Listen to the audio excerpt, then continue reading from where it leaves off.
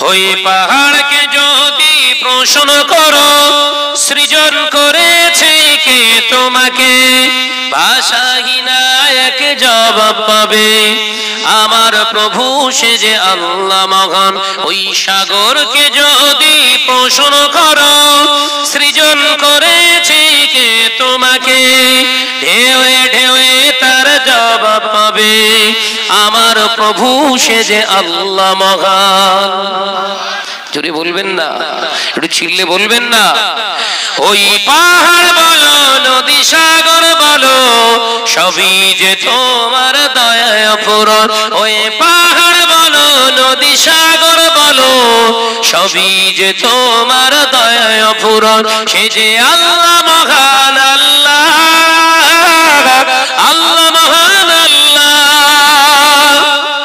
যদি হবে না সোহার চিল্লে হবে না সোহার সে যে আল্লাহ মহান আল্লাহ আল্লাহ মহান আল্লাহ। পাহাড়কে যদি প্রশ্ন করো, সৃজন করেছে কে তোমাকে? ভাষাহীনায়কে জবাব পাবে। আমার প্রভু সে যে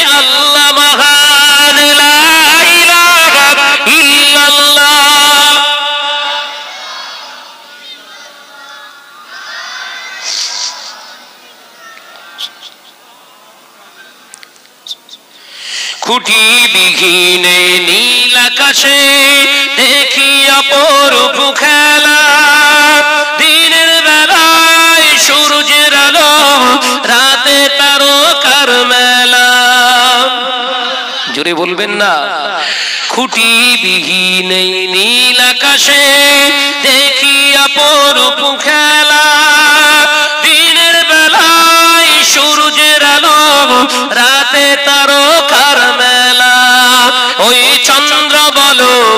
সূর্য বলো, সবই যে তোমার দয়া পূরণ ওই পাহাড় বলো, নদী সাগর বলো, সবই যে তোমার দয়া পূরণ সে যে আল্লাহ মহান আল্লাহ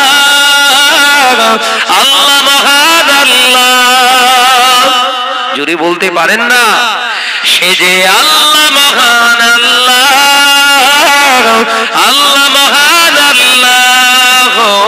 পাহাড়কে যদি প্রশ্ন করো সৃজন করেছে কে তোমাকে? ভাষাহীনায়কে জবাব পাবে। আমার প্রভু সে যে আল্লাহ মহান লা ইলাহা ইল্লাল্লাহ। ভাই কই? না না সমাগম করলাম শিখি যাও ডিগ্রি। সৃজন করেছ এই ধরনী দিয়েছ কত শতনে আমার। তোমার হাতে এক ইশারায় হয়ে যাবে কায়ামাত। বলবেন না, এ চিল্লে হবে না সোহারাল্লাহ সৃজন করেছ এই ধরনী দিয়েছ কত শতনে আমার। তোমার হাতে এক ইশারায় হয়ে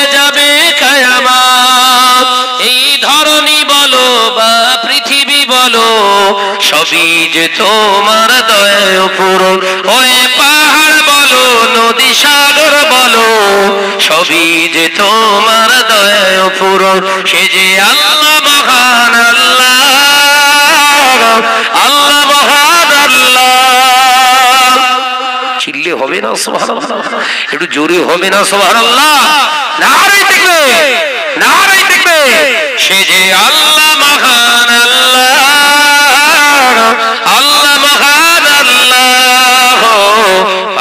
পাহাড়কে যদি প্রশ্ন করো, সৃজন করেছে কে তোমাকে? ভাষাহীনায়কে জবাব পাবে। আমার প্রভু সে যে আল্লাহ মহান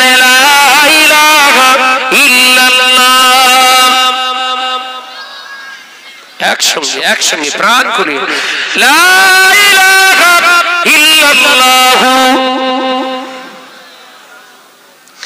আমার নজরের যুবকেরা, ছেলেরা, বাচ্চারা, আমি আলোচনা করেছিলাম।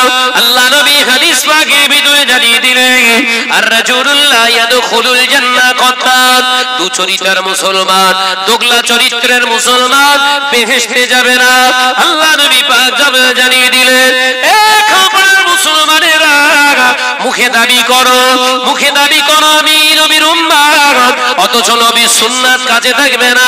দাবি করো নবীকে মহাব্বাত করি, অথচ নবী সুন্নত কাজে থাকবে না। দাবি করো আল্লাহকে ভয় করি, অথচ পাঁচ ওয়াক্ত নামাজ কাছে থাকবে না। দাবি করি আল্লাহকে ভয় করি, অথচ সুদের টাকা বাদ দেবেন না। দাবি করে আল্লাহকে ভয় করি, অথচ ঘরের মেয়েগুলাকে পর্দা নিশিনা বানাবেন না।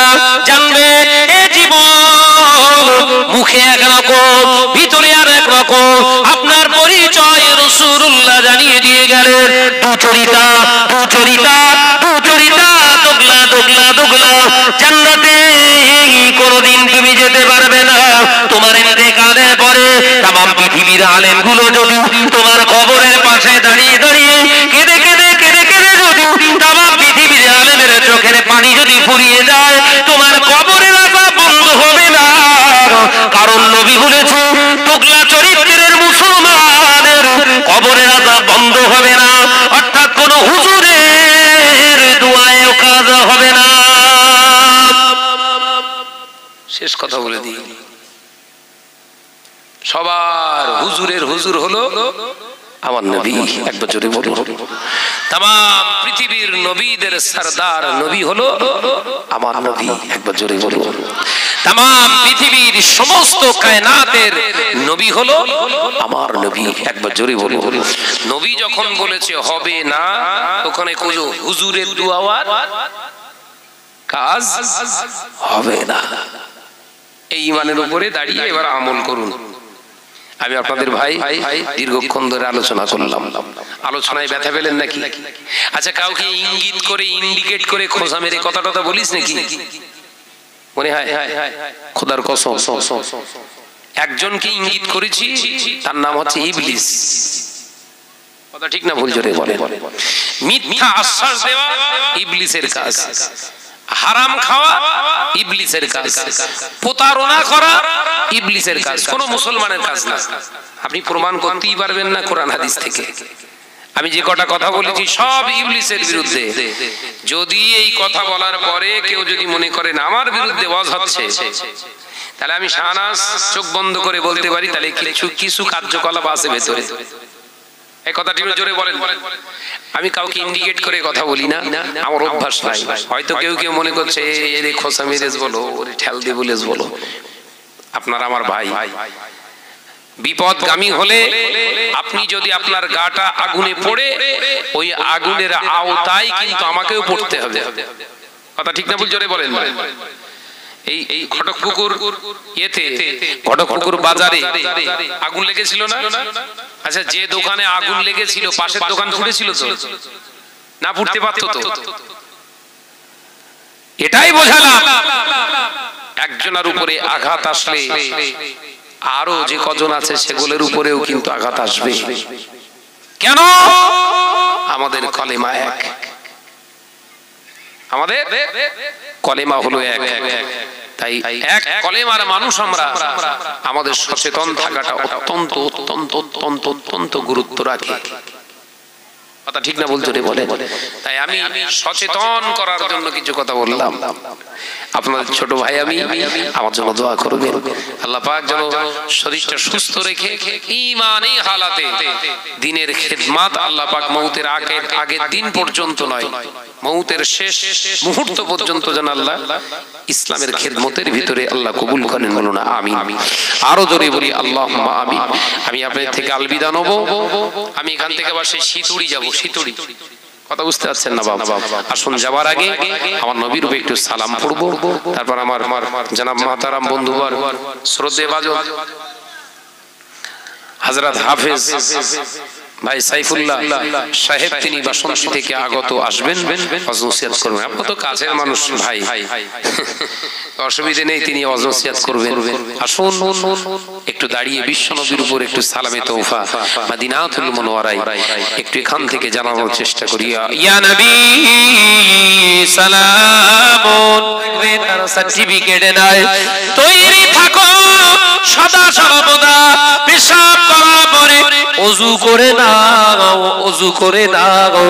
আজরাইল আসলে জানো, পবিত্র অবস্থায় তার গাড়িতে সওয়ার হতে পারি। আল্লাহ নবী পাক জবানে জানিয়ে দিয়ে গেলে সদা যারা শরীরকে পবিত্র রাখে এবং মোবারক সুন্নতি দাড়ি রেখে চলে, আমার আল্লাহ তার মৌটা কখনো বেঈমানি খালাতে দেবেন না জোরে বলে সাবধান থাকো জওয়ানেরা। তোমাদের সব থেকে মাথা বেশি গরম। এই কথা ঠিক না জোরে বলে। না মাথা গরম হতে হতে যেন নাপাক জীবনটা করে ফেলো না বাবা কারণ আজরাইল আসার আগে বলবেন আমি অমুক দিন যাচ্ছি। এই কথা ঠিক জোরে বলে। যে বলবে না ফোন করে আমি যাচ্ছি বলো। কাটলি গুটলি পুটলি পাটলা সব গুছিয়ে ঠিক করে রাখিস। বলবে? বলবে না। তৈরি থাকতে হবে তৈরি রাখতে হবে। তৈরি থাকা মানে পবিত্র অবস্থায় থাকো। তৈরি রাখা মানে সুন্নতকে সব সময় মর্যাদা দিয়ে চলো। আসুক সালাম দেবে। একবার জোরে বলো। জোরে হবে না আজরাইল আলাইহিস সালাম এসে মুত্তাকিনদের সঙ্গে কখনো খারাপ ব্যবহার করে না।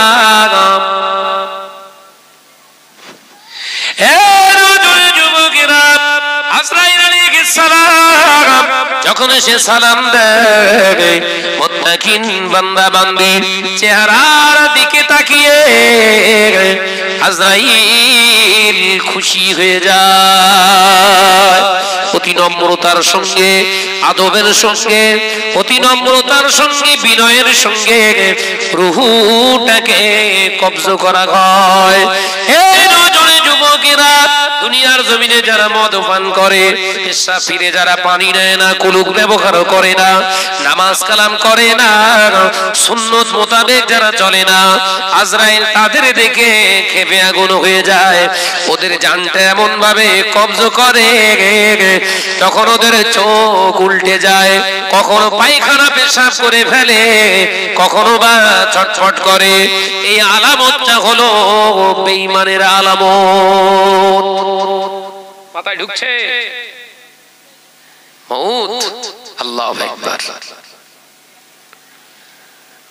আল্লাহ মৃত্যুবরণ করেন, ইন্তেকাল হন। আজরাইলকে দেখে ভয় পান না, খুশি হয়, একবার জোরে বলে। জোরে বলবেন না? কারণ আল্লাহর বান্দা যারা হয় প্রকৃত মোত্তাকি, মৃত্যুকে তারা কখনো ভয় পায় না। একবার জোরে বলো জোরে বলবেন না? যাদের হৃদয়ে আছে আল্লাহর ভয়, তারা কবু কাউকে ডরে না। জোরে বলবে কাউকে ডরে না। যাদের হৃদয়ে আছে আল্লাহর ভয়, তারা কবু কাউকে ডরে না। বাতিলের কাছে তারা কখনো কোনো দিন সেজেদাতে মাথা নত করে না। যদি হবে না। গভীর রাতে যখন সেজেদাতে রয়, দু চোখের শ্রুতে নদী যেন বয়। গভীর রাতে যখন রয়, দু চোখের শ্রুতে নদী যেন বয়। প্রভুর সারাতেই জাগে যে সারারাত প্রভুর সারাতেই জাগে যে সারারাত তারা কখনো যে ভুলে না। যাদের হৃদয়ে আছে আল্লাহর ভয়, তারা কবু কাউকে ডরে না। নারাই তকবি নারাই তকবি নারাই তকবি আল্লাহকে ভয় করে চলো আজরাইল জিব্রাহিল যায় আসুক কামান হোক হোক, যায় আসুক, কিচ্ছু ভয় লাগবে না। যে আপনাকে হুমকি দেবে, আপনি তার সঙ্গে মস্করা করবেন। কারণ আপনি মোত্তাকি। আপনার বেঁচে থাকা যতটা লাভ, দুনিয়া থেকে চলে যাওয়াটাও ঠিক ততটাই লাভ। একবার জোরে বলুন। জোরে হবে না, সুবহানাল্লাহ। কথায় বলে না, হাতি মরলেও লাখ, বাঁচলেও লাখ। কেন? ওর দুটো দাঁত আছে। একবার জোরে বলুন। আবাজি সেই জন্য ইমানদার হয়ে বাঁচুন। ইমানদার হয়ে বাঁচুন। পৃথিবীর জমিনে এই জায়গাটা আমার আপনার জায়গাটা খুব সংকীর্ণ। দুনিয়াটা আমার আপনার জন্য খুব সংকীর্ণ ছোট জায়গা। আল্লাহ আমাদের সকলকে এই দুনিয়ার জমিনে প্রকৃত মোত্তাকিন, দিনকে বাঁচিয়ে রেখে চলার আল্লাহ তৌফিক দেন বলুন, আমিন। আরও জোরে বলি আল্লাহ আমিন। ভাইয়ের, আমার নজনের যুবকেরা, আমি আলোচনা সংক্ষেপ করব। আমি এখান থেকে আবার একটি জায়গায় ওয়াদা করে রেখেছি, বাবা, আমায় যেতে হবে। শুধু আমি আপনাদের বোঝাতে চেয়েছিলাম, আমাদের জীবন কয় প্রকার? ভুলে যাচ্ছেন নাকি? আমি শেষ করে দেবো। আমি প্রথমে বলেছিলাম, আলামে দুনিয়া দ্বিতীয়টায় বলেছি, আলামে বারজাক তৃতীয়টার নাম হলো, আলামে আখিরাত তিনটে জিন্দেগি তোমার, একটা জিন্দেগির লোভে। দুটোকে তুমি ভুলে যেও না। কটা জিন্দেগি জোরে বলো বাপ। তিনটে আলামে দুনিয়া ওয়ান থেকে হান্ড্রেড হান্ড্রেড কিংবা হান্ড্রেড ফিফটি দেড়শো বছর। কিন্তু দেড়শো বছর হবার কোনো লাইন নেই, কারণ সব প্লাস্টিক সব নকল কথা ঠিক না ভুল জোরে বলে। এ নজনেরা এটা হলো আলামে দুনিয়া আলামে দুনিয়াকে এত প্রাধান্য দেবেন না। আলামে দুনিয়ায় আপনাকে সচেতন থাকতে হবে। আল্লাহ নবী পাক জবানে জানিয়ে দিলেন আর দুনিয়া মাজরাতুল আখিরা।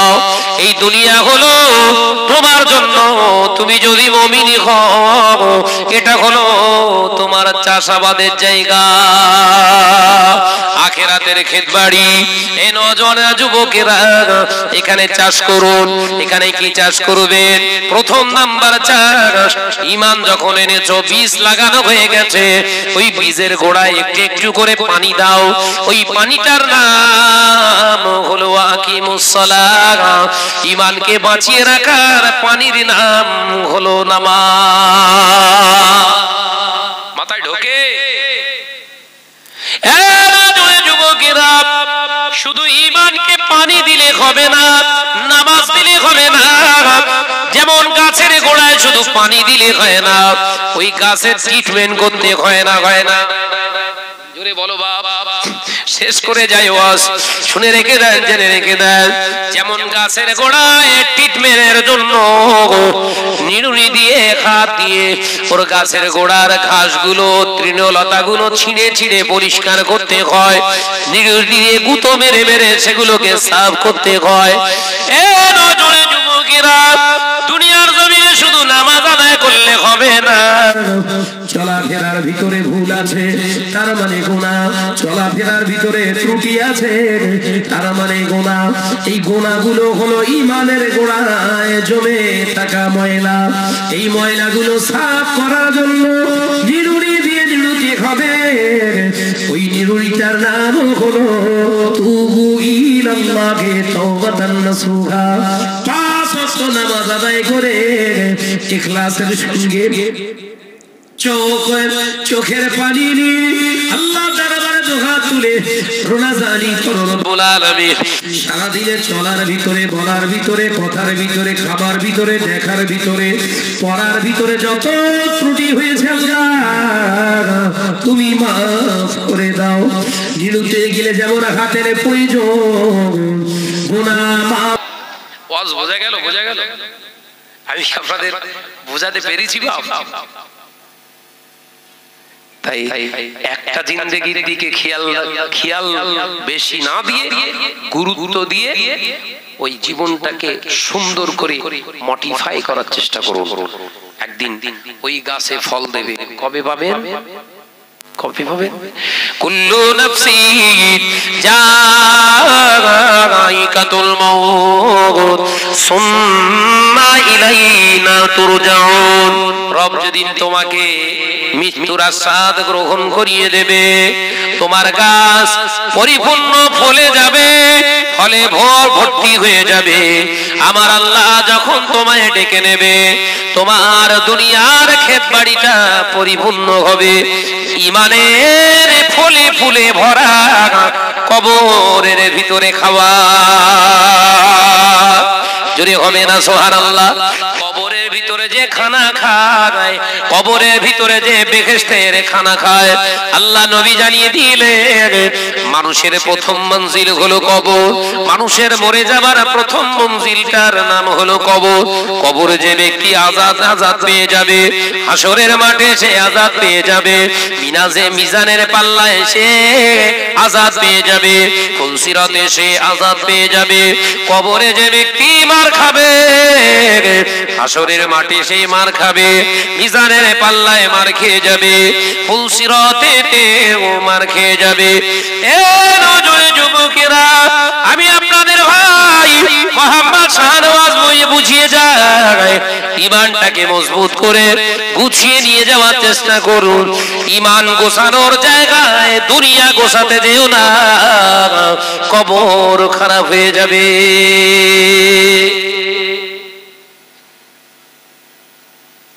দুনিয়া গোছানোর আগে আমাদের কবর গোছাতে হবে আগে। কথা ঠিক না বলছেন আর দুনিয়াও মাসরাতুল আখিরা। এটা আমার জন্য গোছানোর জায়গা। কোন জায়গার জন্য? আখিরাতে। ক্ষেত বাড়ি হলো দুনিয়া। তাহলে এখান থেকে চাষ করতে হবে। ভালো করে চাষ করে ওখানে যে আরাম। একটা চাষি ধান চাষ করে, ধান গাছ বোতে, ধান গাছ বপন করার পরে সার দেয়, পানি দেয়, ওর গোড়ার আগাছা কুগাছা গুলো পরিষ্কার করে।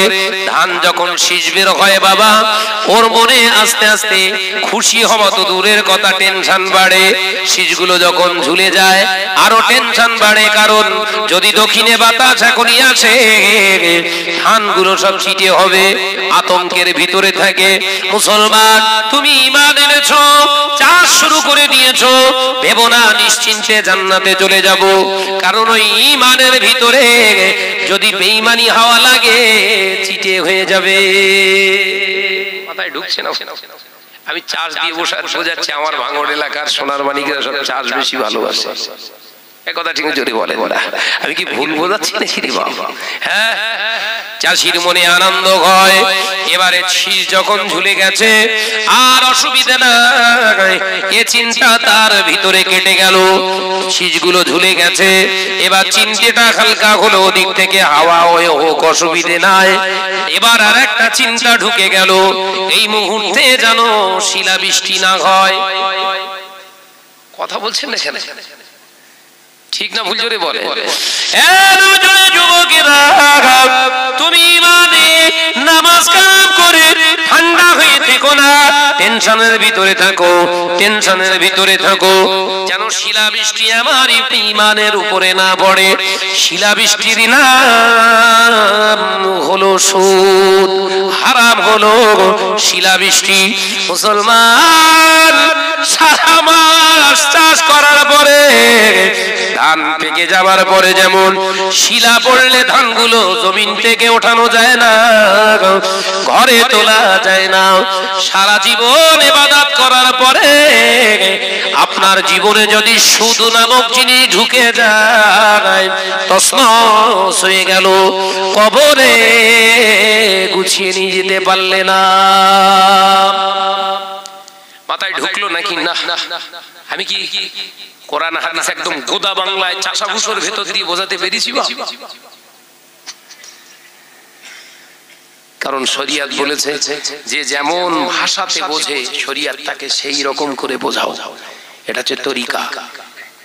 আমি আপনাদের ঘরের ছেলে আপনাদের দেশের ছেলে আমি আপনাদের কলেমার ভাই। তাই নিজের মতো করে বুঝিয়ে গেলাম। ইমাম যখন নিজের ভিতরে এনেছেন আপনার চাষ স্টার্ট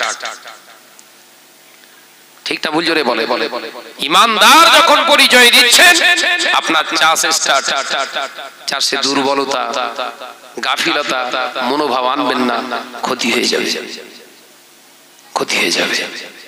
আল্লাহ আমাদের সকলকে বোধ শক্তি দেন, বলুন আমি আরও জোরে বলবেন আল্লাহ আমি আমার ভাইরা, নিয়ে এসো, ভাইকে নিয়ে এসো। সাইফুল্লাহ ভাই আসবে তো?